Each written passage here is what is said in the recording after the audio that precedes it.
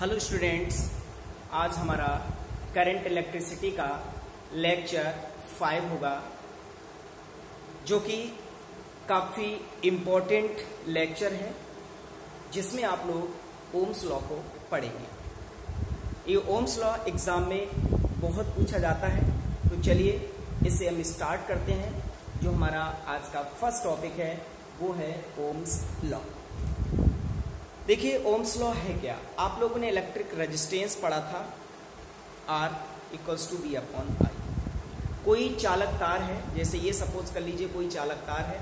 जब हम इस चालक तार में कोई पोटेंशियल डिफरेंस अप्लाई करते हैं, इस चालक तार के सिरों के बीच में जब हम कोई विभवान्तर लगाते हैं तो उसमें एक करंट का फ्लो होने लगता है। जैसे जैसे हम विभवान्तर को बढ़ाते जाते हैं वैसे वैसे इस चालक तार में फ्लो होने वाली जो करंट होती है, वो भी क्या होती है? बढ़ती जाती है। लेकिन ये जो करंट का फ्लो होता है, ये बिल्कुल ज़रूरी नहीं है कि वोल्टेज के अकॉर्डिंग ये लीनियर रहे या वोल्टेज के अकॉर्डिंग एक वोल्टेज के साथ साथ एक समान बढ़े। कहीं पर ऐसा भी हो सकता है कि अगर आप वोल्टेज बढ़ा रहे हैं तो करंट कहीं पर कम बढ़े। कहीं वोल्टेज बढ़ाने पर करंट ज़्यादा बढ़ जाए।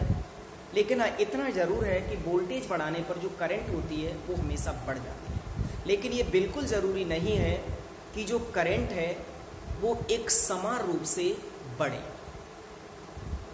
तो ओम्स लॉ ये कहता है कि अगर हम किसी चालक तार का ताप न बदलें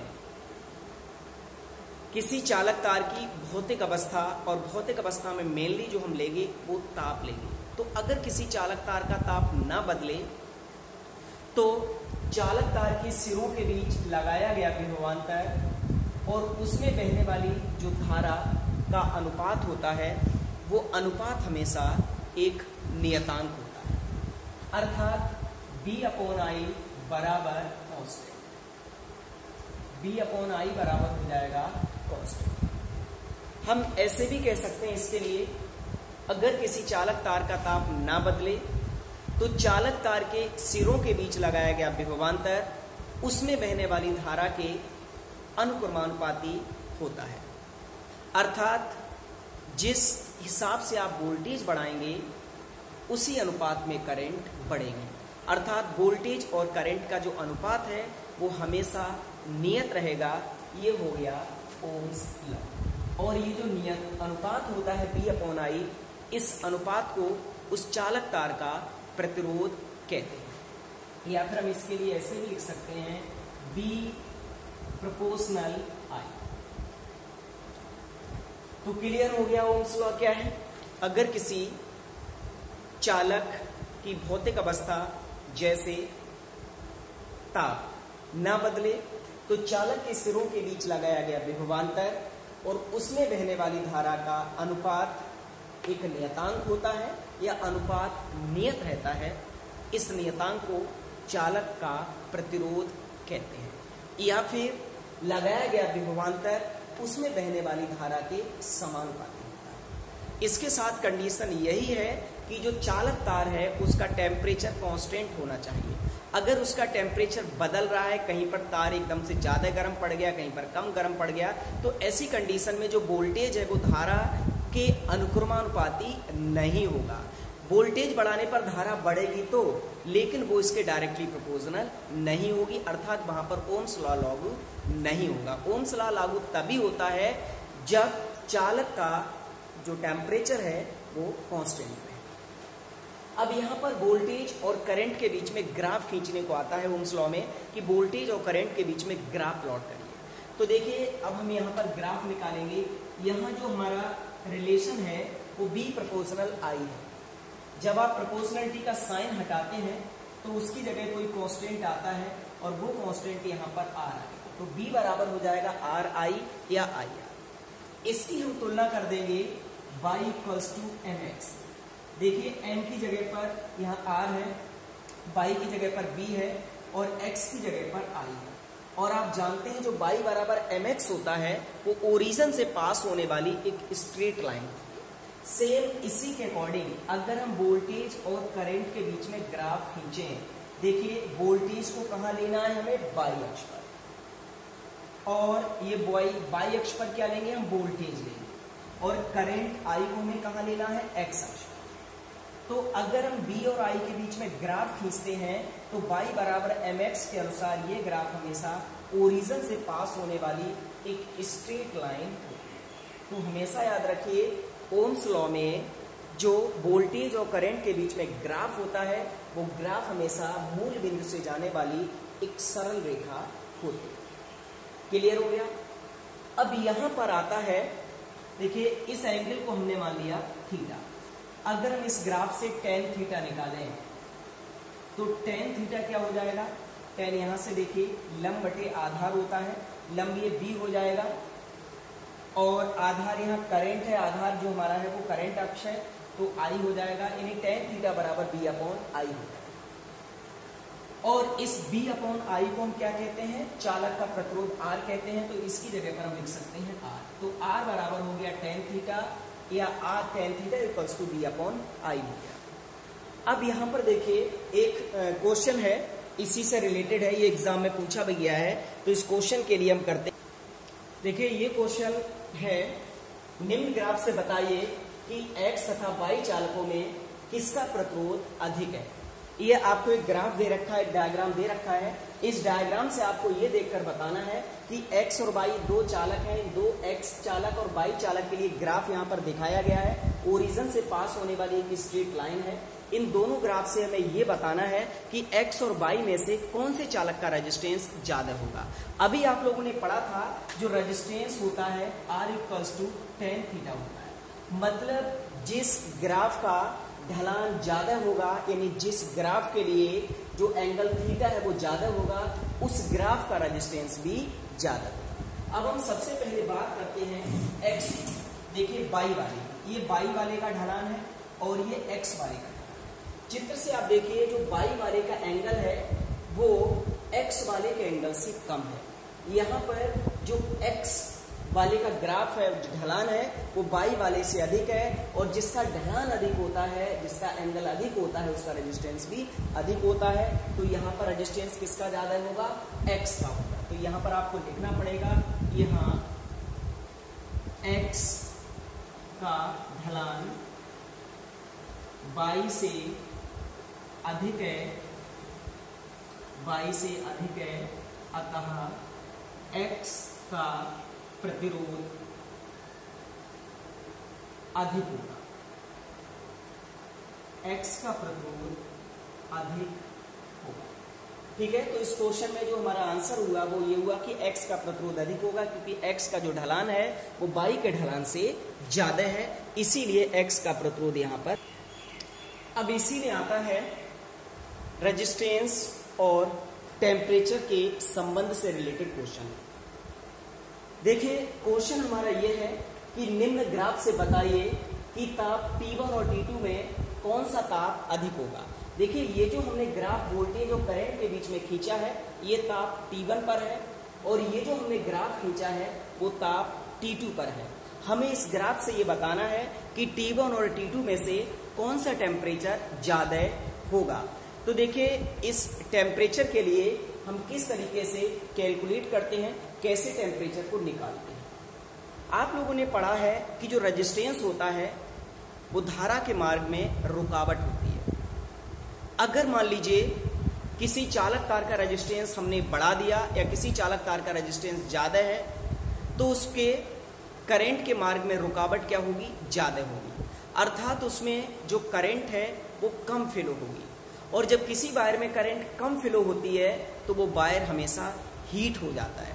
क्योंकि किसी भी वायर के अंदर हीटिंग तभी प्रोड्यूस होती है हीटिंग इफ़ेक्ट तभी होता है जब उसमें करंट की वैल्यू कम हो जाती है करंट कम पास होती है और जो एनर्जी होती है, वो पूरी की पूरी आपकी ज़्यादातर जो एनर्जी होती है, वो हीट एनर्जी में कन्वर्ट हो जाती है। जो इलेक्ट्रिक एनर्जी है, वो हीट एनर्जी में कन्वर्ट हो जाती है, जिसकी वजह से जो वायर होता है, वो क्या होता है? गर्म हो जाता है। तो यहाँ पर आप, जो सबसे ज़्यादा मेन पॉइंट है समझने वाला वो ये है कि जिस वायर का रजिस्टेंस जितना ज़्यादा होता है, उसमें करंट उतनी ही कम फ्लो होती है और करंट कम फ्लो होने की वजह से हीट उसमें ज़्यादा प्रोड्यूस होती है। तो रजिस्टेंस ज़्यादा होने का मतलब है उसके अंदर हीट ज़्यादा होना। अर्थात जिस वायर का रेजिस्टेंस ज़्यादा होगा, उस वायर का टेम्परेचर भी ज़्यादा होगा। अब हमें T1 और T2 में से ये देखना है कि कौन से वायर का रेजिस्टेंस ज़्यादा होगा। अभी आपने ये भी पढ़ा था कि जो रेजिस्टेंस होता है, वो ढलान पर भी डिपेंड करता है। जिस जिसका ढलान ज़्यादा होता है, उसका रेजिस्टेंस भी ज़्यादा होता है। तो यहाँ पर देखिए T1 वाले का अगर हम ढलान देखेंगे तो ये ढलान छोटा है और T2 वाले का जो ढलान एंगल देखेंगे तो वो एंगल बड़ा है। इसका मतलब है T2 वाले का ढलान ज़्यादा है और जब T2 वाले का ढलान ज़्यादा है तो T2 वाले का रेजिस्टेंस भी ज़्यादा होगा। क्योंकि R बराबर होता है टेन थीटा।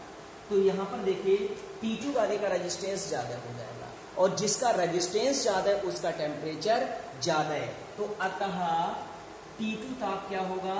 अधिक होगा। टी टू ताप अधिक होगा। तो ये हमारा, इससे रिलेटेड एक न्यूमेरिकल हो गया। क्वेश्चन इस तरीके से, वो ग्राफ का दे देता है। ग्राफ में वो रजिस्टेंस पूछ लेता है किसका ज़्यादा है। वो ग्राफ में ये पूछ लेता है कि टेम्परेचर किसका ज़्यादा है। अब हम इसी चैप्टर में आगे बढ़ते हैं। ये हमारा ओम्स लॉ हो गया और ओम्स लॉ से रिलेटेड कुछ कॉन्सेप्शन क्वेश्चन हो। अब हमें अनुगमन वेग के आधार पर ओम के नियम का निगमन करना है। तो जो अगला हमारा टॉपिक है, वो है अनुगमन वेग के आधार पर ओम्स लॉ का निगमन। अनुगमन वेग के आधार पर अनुगमन वेग के आधार पर ओम के नियम का, ओम के नियम का सत्य। अनुगमन वेग के आधार पर ओम के नियम का सत्यापन। ये क्वेश्चन दूसरे तरीके से ऐसे भी आता है, अनुगमन वेग और विभवान्तर में संबंध ठीक है? तो हम इसके लिए ये भी लिख सकते हैं, अनुगमन वेग अनुगमन वेग तथा विभवान्तर में संबंध। अनुगमन वेग या विभवान्तर में संबंध या फिर अनुगमन वेग के आधार पर ओम स्व का वेरिफिकेशन ये दोनों ही क्वेश्चन एग्ज़ाम में बहुत ज़्यादा पूछे जाते हैं। पूरा क्वेश्चन आता है, ओम का नियम लिखिए और अनुगमन वेग के आधार पर ओम के नियम का सत्यापन कीजिए। हमने मान लिया ये कोई चालक तार है। इस चालक तार की लंबाई हमने स्मॉल एल ले ली और इसका ये जो अनुप्रस्थ काट है, इसका क्षेत्रफल हमने कैपिटल ए ले लिया। और इस चालक तार के एकांक आयतन में मुक्त इलेक्ट्रॉनों की संख्या हमने स्मॉल एन ले ली। तो जो चालक तार में बहने वाली धारा होती है, वो आप लोगों ने प्रूफ की थी पिछले लेक्चर में I equals to N A B D E जो चालक तार में बहने वाली धारा है, वो आई बराबर होती है N A B D E इसे इक्वेशन नंबर नाम अब हमने क्या काम किया कि चालक तार के सिरों के बीच में बी विभवान्तर लगा दिया।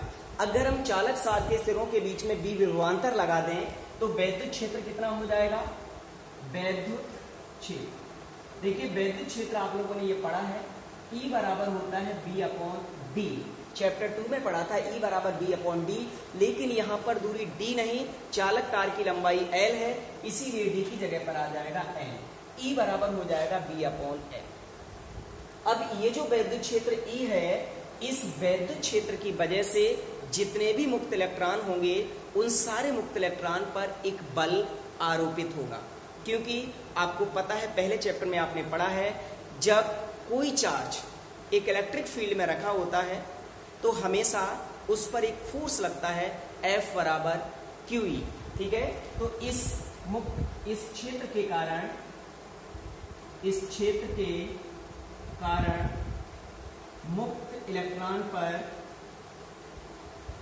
मुक्त इलेक्ट्रॉन पर बल। मुक्त इलेक्ट्रॉन पर बल कितना लगेगा? F बराबर होता है क्यू ई e। लेकिन यहाँ क्यू की जगह ई e आ जाएगा, क्योंकि यहाँ पर कोई अन्य चार्ज नहीं, इलेक्ट्रॉन है, और इलेक्ट्रॉन के आवेश को हम स्मॉल ई e से डिनोट करते हैं तो जो बल होगा वो F बराबर ई ई हो जाएगा। कैपिटल ई का मान ऊपर से लगा देंगे बी अपॉन एल तो F बराबर हो जाएगा ईवी अपॉन एल और जैसे ही मुक्त इलेक्ट्रॉन पर बल लगेगा वैसे इलेक्ट्रॉन क्या होगा? त्वरित गति करने लगेगा। इलेक्ट्रॉन में एक त्वरण उत्पन्न हो जाएगा। तो इस बल की वजह से त्वरण कितना होगा? इस बल के कारण, इस बल के कारण मुक्त इलेक्ट्रॉन मुक्त इलेक्ट्रॉन में त्वरण। त्वरण आप लोग न्यूटन के सेकेंड लॉ को पढ़ चुके हैं। एफ़ बराबर होता है एम ए ठीक है? इलेवेंथ में पढ़ा था। यहाँ से अगर ए निकालेंगे तो ए बराबर एफ़ अपॉन एम हो जाएगा। एफ़ की वैल्यू लगा दीजिए ईवी अपॉन एल और एम चल ही रहा है तो ए बराबर हो गया E V upon L M इसे इक्वेशन नंबर नाम दे दीजिएगा? टू अब क्या है? जैसी मुक्त इलेक्ट्रॉनों पर त्वरण काम करेगा, बल लगेगा, वैसे मुक्त इलेक्ट्रॉन एक त्वरित गति करने लगेंगे। अर्थात एक नियत वेग से ये चालक के धन सिरे की ओर, जो भी जो बैटरी है, उसके धन सिरे की ओर या उच्च विभव वाले सिरे की ओर अनुगमन वेग से गति करने लगेंगे। अब यहाँ पर हम निकालेंगे मुक्त इलेक्ट्रॉनों का अनुगमन। हमने ये सपोज़ कर लिया कि जब हमने वैद्युत क्षेत्र नहीं लगाया था, उस समय पहले मुक्त इलेक्ट्रॉन का वेग u1 था, दूसरे का u2 था, तीसरे का U3 और एंड्स ऑन डॉट डॉट और ऐसे ही एनवे मुक्त इलेक्ट्रॉन का वेग UN है। जैसे ही हम वैद्युत क्षेत्र लगा देंगे, वैसे ही मुक्त इलेक्ट्रॉन त्वरित गति करने लगेगा। और इस समय अब जो हर एक मुक्त इलेक्ट्रॉन का वेग होगा, वो B बराबर U प्लस ए टाव से निकाल B बराबर U प्लस ए टाव जहाँ U इसका वो वेग है, जब हमने वैद्युत क्षेत्र नहीं लगाया था, यानी ऊष्मीय वेग।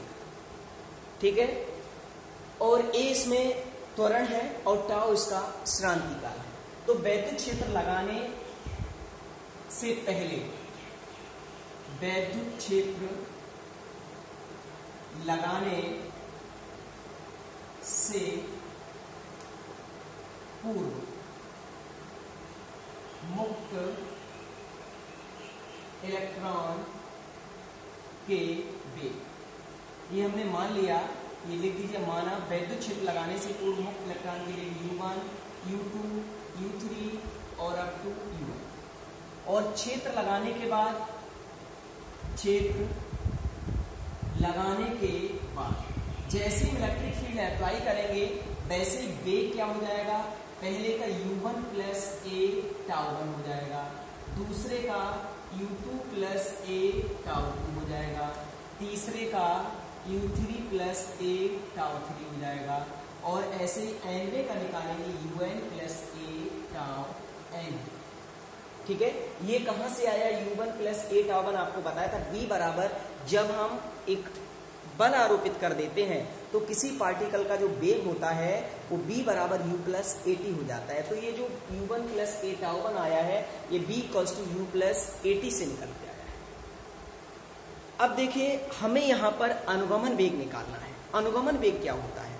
अनुगमन वेग जो होता है जितने भी फ्री इलेक्ट्रॉन्स हैं, जितने भी मुक्त इलेक्ट्रॉन हैं, उन सारे मुक्त इलेक्ट्रॉनों के बेग का जो औसत होता है, उसी को कहते हैं अनुगमन बेग ये जो वैद्युत क्षेत्र लगाने के बाद बेग आए हैं, पहले का बेग ये, दूसरे का ये, तीसरे का ये, और ऐसे ही लास्ट में एनवे का ये।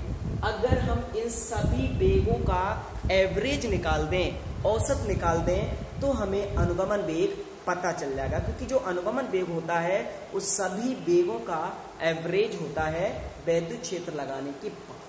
ठीक है? तो अतः अनुगमन वेग। अनुगमन वेग। अनुगमन वेग कितना हो जाएगा? बी डी बराबर हो जाएगा U one plus A tau one plus U two plus A tau two plus U three plus A plus and on dot dot कर दीजिए और plus U N plus A tau और पूरे के upon में कर दीजिए एन बी डी बराबर। अब देखिए u1, u2, u3 इनके लिए तो हम पास पास कर लेते हैं। U one plus U two plus U three plus and on dot dot और लास्ट में u1 और प्लस ए को बाहर करिए। Tau one plus tau two plus tau three, plus and on dot dot और लास्ट में tau और पूरे के अपॉन में चल रहा है। ठीक है? हम इसके लिए अलग अलग कर लेते हैं। यहाँ पर देखिए, इसे अलग अलग करते हैं। तो अलग अलग करने पर यह आ जाएगा u1 one plus U two plus U three plus and on dot dot और लास्ट में यू एन और अपॉन कर लीजिए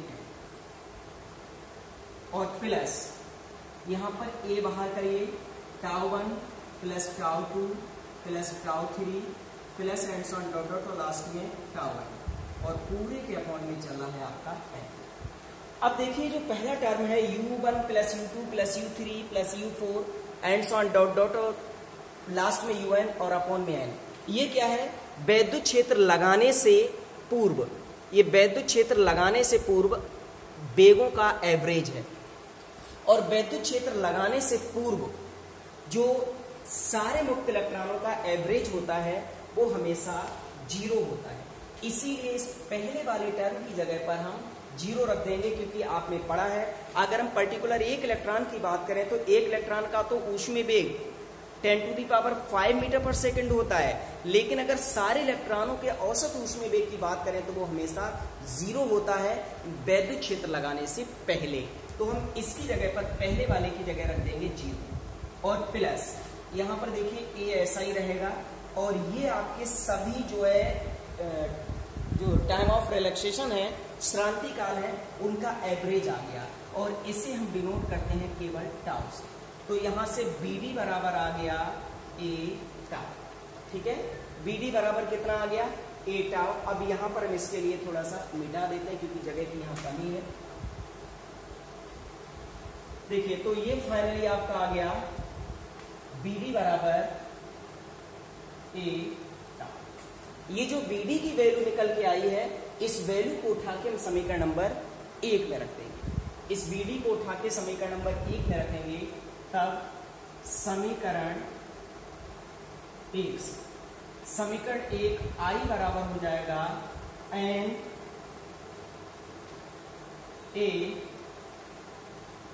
बी डी की वैल्यू लगा दीजिए। यहाँ से देखिए बी डी की जो वैल्यू है, आप यहाँ से ऐसा करते हैं ए की वैल्यू और लगा ए की वैल्यू है ए की वैल्यू आप लोगों ने निकाली थी, कौन सी इक्वेशन थी जिसमें ए की वैल्यू थी? ए की वैल्यू आई थी E B upon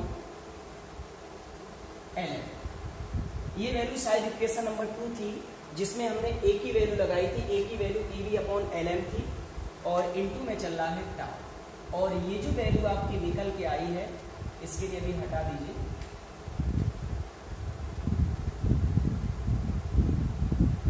या फिर बी डी बराबर हो गया E B upon L M into में और ये वैल्यू हमने लगाई है समीकरण कहाँ से लगाई है? समीकरण से। यहाँ तक भी डेरिवेशन पूछ लेता है तो ये हो गया आपका अनुगमन वेग और विभवांतर में संबंध, ठीक है? अनुगमन वेग और विभवांतर में अगर संबंध पूछता है तो आपको यहीं तक करना पड़ेगा। और अगर वो आगे पूछता है, इसे क्वेश्चन नंबर थ्री नाम दे दीजिए। अगर वो आगे पूछता है कि अनुगमन वेग के आधार पर ओम के नियम का सत्यापन कीजिए तो हमें इसके लिए आगे बढ़ाना है। आगे बढ़ाने के लिए जो बीडी की वैल्यू निकल के आई है, इस बीडी की वैल्यू को उठा के रख देंगे समीकरण नंबर एक में। अब कहा समीकरण एक से। इक्वेशन नंबर वन आपकी बन जाएगी आई बराबर एन ए और बीडी की जगह लगा दीजिए E B upon L M into में टाउ और ये इंटू में चल रहा है ई e. तो ये आ गया N A E square B tau upon L ये आई चल रहा है।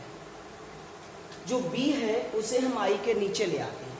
तो यहाँ इसके लिए हम लिख सकते हैं आई अपॉन बी बराबर N A square tau upon L ये आई अपॉन बी हो गया। अब हम इस टर्म के लिए क्या काम करेंगे? दोनों तरफ़ उलट देंगे। जैसे ही इस टर्म के लिए दोनों तरफ़ उल्टेंगे, उलटने पर क्या हो जाएगा? देखिए, या इसके लिए हम ऐसे भी लिख सकते हैं या बी अपॉन आई बराबर L M upon N A square अब यहाँ पर समझने वाला पॉइंट है।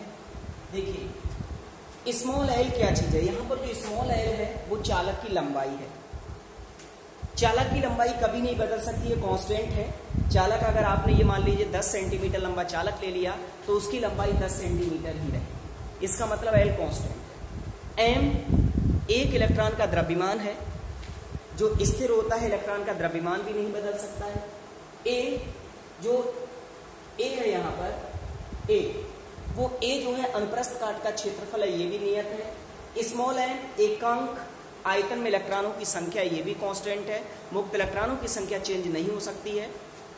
और स्मॉल ई इलेक्ट्रॉन का आवेश है, ये भी चेंज नहीं हो सकता है। लेकिन जो टाव है टाइम ऑफ़ रिलैक्सेशन ये ज़रूर बदल सकता है। टाव को छोड़कर यहाँ पर जितनी भी चीज़ें हैं, वो सारी की सारी कॉन्स्टेंट है। टाव दो टक्करों के बीच लगा औसत समय होता है। अगर आप किसी चालक का टेम्परेचर बढ़ाएँगे तो टेम्परेचर बढ़ाने पर क्या होगा? जो मुक्त इलेक्ट्रॉन होंगे, वो बहुत जल्दी जल्दी टकराएँगे। ठीक है? उनका वेग बढ़ेगा और बढ़ने की वजह से उनमें टक्कर जल्दी जल्दी होगी, अर्थात टाव की वैल्यू क्या होगी? कम हो जाएगी। ये कब कम होगी? जब आप टेम्परेचर बढ़ाएँगे। अगर आप बाई चांस टेम्परेचर भी नियत कर दें तो टाव की वैल्यू क्या हो जाएगी? कांस्टेंट हो जाएगी। अर्थात नियत ताप पर ये पूरा जो L M upon N A square tau है, वो नियत हो जाएगा। ठीक है? तो यहाँ पर एक लाइन हमें लिखनी पड़ेगी यदि ताप। यदि ताप नियत हो नियत हो तब। L M upon N A square tau क्या होगा? नियतांक होगा। क्या होगा?